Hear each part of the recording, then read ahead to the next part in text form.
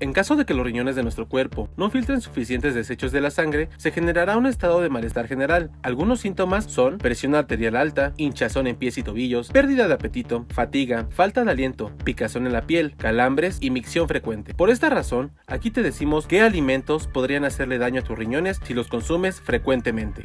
1. De acuerdo con un estudio publicado en Epidemiology, el consumo de dos o más bebidas carbonatadas al día incrementan el riesgo de tener cálculos renales, así como de diabetes e hipertensión. 2. Los alimentos enlatados, aunque son económicos y pueden almacenarse por varios meses, la mayoría tienen sal añadida que alarga su vida de anaquel. Como consecuencia, estos productos poseen grandes cantidades de sodio que podrían afectar tus riñones, determinó un artículo de la revista médica Advances in Chronic Kidney Disease. 3. Una publicación de la revista médica Journal of Renal Nutrition concluyó que las carnes procesadas incrementan el riesgo de insuficiencia renal crónica entre un 73 y un 99% debido a su alto contenido en sodio. 4. Según el Departamento de Agricultura de los Estados Unidos, 100 gramos de pepinillos encurtidos poseen 1210 miligramos de sodio, más de la mitad de la ingesta diaria recomendada por la OMS. Por su parte, las calabazas encurtidas tienen 951 miligramos de sodio, mientras la cola encurtida cuenta con 969 miligramos de sodio. Así que es mejor evitarlos, pues podrían dañar tu salud. Por último, la National Kidney Foundation señaló que la mayoría de los cálculos renales están formados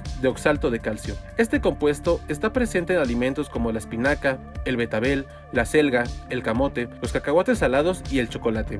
La ingesta limitada de estos productos previene la formación de piedras en los riñones en personas con antecedentes de esta enfermedad. Ante cualquiera de los síntomas mencionados, es importante que consultes a tu médico para que te recomiende la mejor alimentación para ti.